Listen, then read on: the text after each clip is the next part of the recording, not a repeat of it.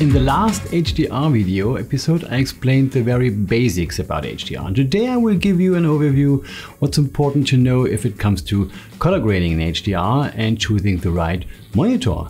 In general, as always, in color grading, the two fundamental things are the image pipeline and the general workflow, which is oft mixed together, therefore sometimes a bit confusing. In general, as first, you should build up your consistent image pipeline. That's the base. So let's start with the image pipeline. The image pipeline means a technical signal pipeline. The image pipeline starts on set or better in camera. In general, you can color grade almost any footage, which is at least 10 bit and UHD, but you should know that you should use the best image quality you can get out of your camera. So RAW is always the best choice if available. If not, you should consider at least a 422 format. The next thing to consider is the frame rate. If you want to shoot 50 or 60 or even more FPS, be aware of the depending crop and resolution, which is available in context with such a frame rate. Again, at least UHDE. UHD better is 4K because, and that's very important too, HDR is not only about higher contrast and more luminance, HDR is about better pixel.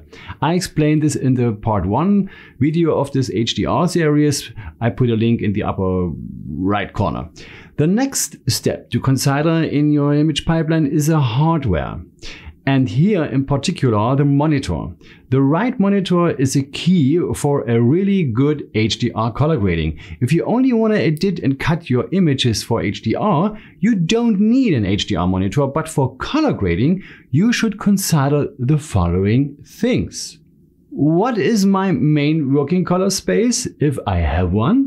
Is this the most underrated in the color grading in HDR? And second, what's your budget? And third, what ports do you need? Especially important if you want to connect your camera directly on such a monitor for reviews because if your camera has only SDI output for 4K or UHD, UHD, your monitor should have SDI inputs too. Otherwise, you may run into problems because if your monitor only has HDMI inputs, for example, you should know that HDR10 is only available in HDMI 2.0, for example. So be careful and think about such things twice before you invest in a monitor. And this is very important to understand too in context for OLED TVs.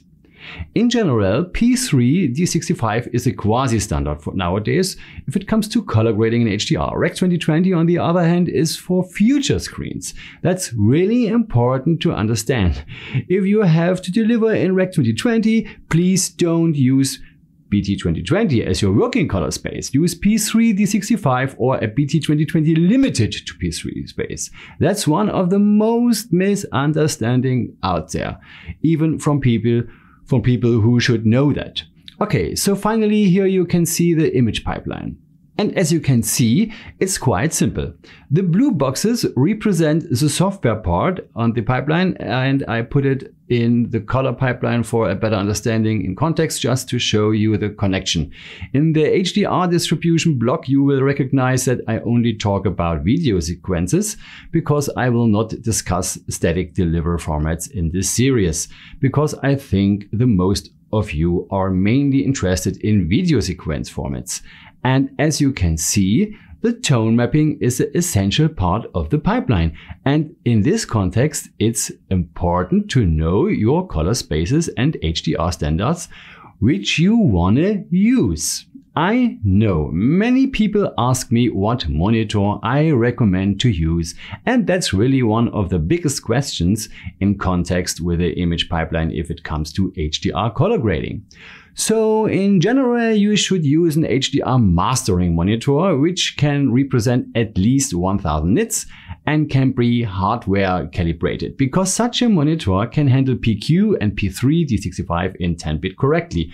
Furthermore, such a monitor can handle a sampling of RGB 4x4x4, but such a monitor is really very expensive.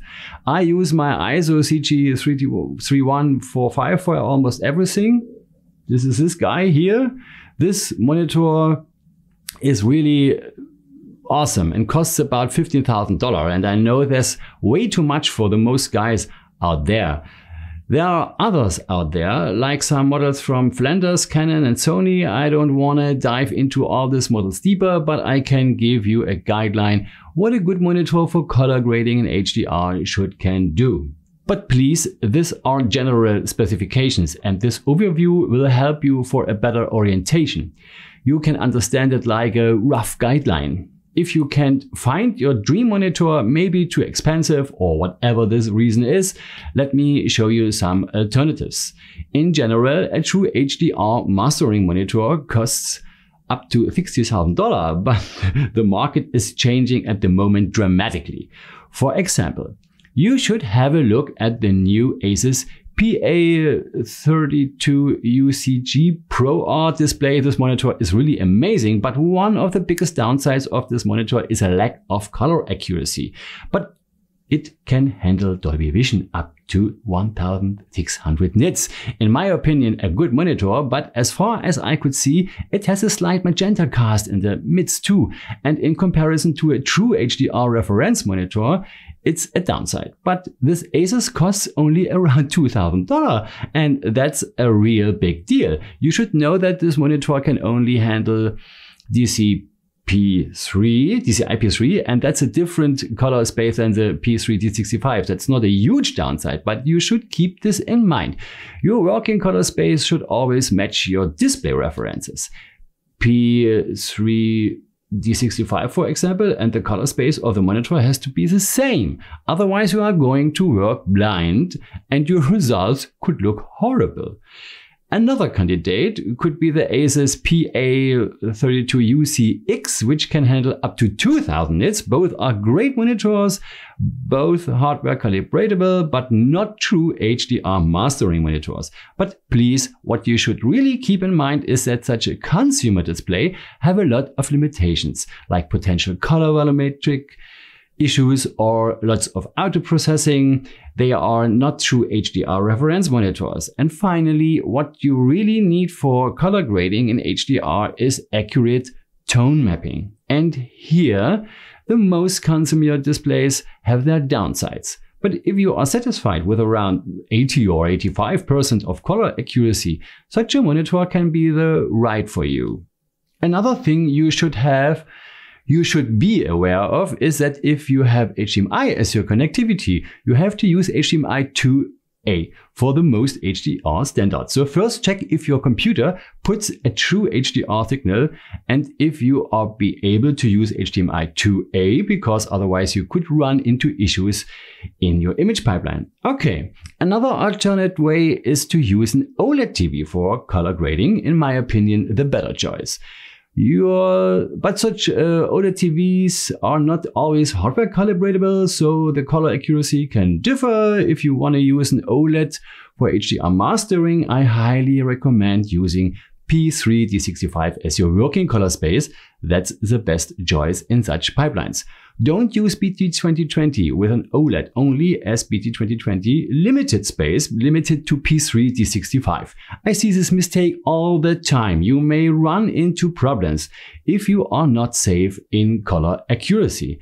One of the best at the market at the moment are the Panasonic GZW models and the LG C8 and LG C9. These are really amazing TVs and Panasonic gives you additionally a filmmaker mode which allows you to disable the image enhancement algorithms like color and contrast with just one button. And this model has a very high color accuracy. But again, it's not a true HDR mastering display. So be careful. A pro colorist will achieve great results with such a screen. But you should know that the mastering monitor gives you the full control about all image aspects. Many, many OLED TVs not. I love the quality of this new Panasonic series and the LG C8 and C9 models.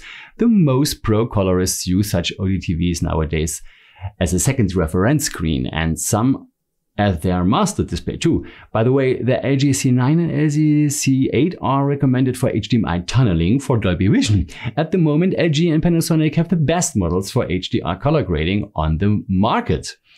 If it comes to OLEDs, you should know that the color accuracy is very important and the screen uniformity too, because that's often a problem with OLED consumer TVs.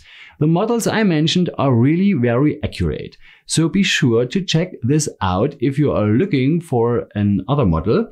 And by the way, the new LG CX models are really great too if it comes to accuracy. Furthermore, the LG CX is the most affordable OLED TV at the moment and it's available in 50, 50 55 and 48 inch, which is really fantastic. I would consider between the mentioned Asus models, for example, and an OLED I would choose the LG C8 or C9 because this display offers me much control and they are more affordable too in comparison to my EIZO CG 3145, for example, but that's my opinion. And please, this is just an help and orientation for you. And the Asus, the backlight technology is great, but in accuracy and the screen uniformity and OLED is better, is a better choice. In general, EIZO has the best monitors, but very expensive. So as first, I would choose an EIZO because they are the best on the market and my second choice would be an LG CX or LG C9. Additionally, you should know that you should control the gamma and the gamut on the OLED. Uh, the mentioned models can do that. And if available, you should choose PQ instead of gamma 2. And that's very important if it comes to HDR color grading because in HDR, the EOTF is PQ.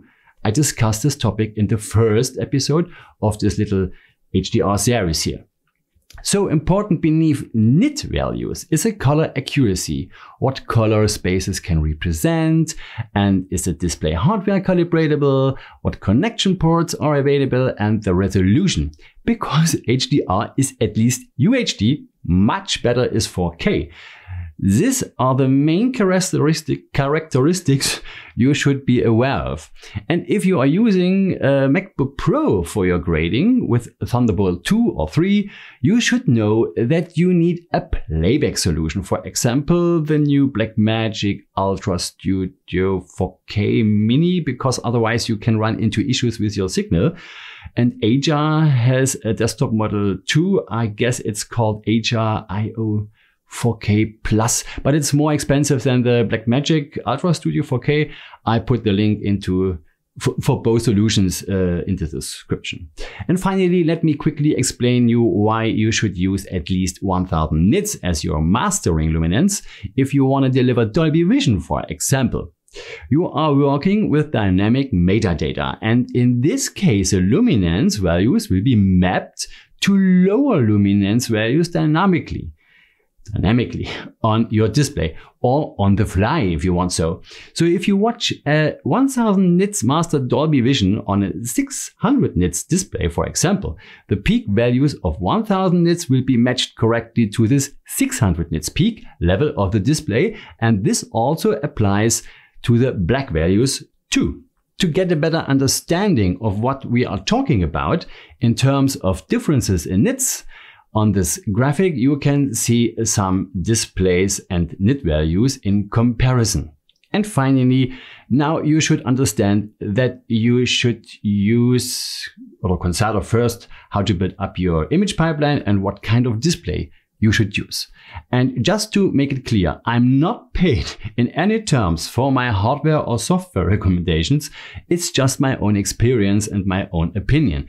And no, I'm not paid or sponsored by EIZO. I bought my EIZO monitor with my own money. Furthermore, I use the LG C8 very often too, and I love this display, but I paid it with my own money too. Okay, we are done. For sure, I could dive in deeper in some parts, but I want to keep it short as possible. And so stay tuned and don't forget to subscribe.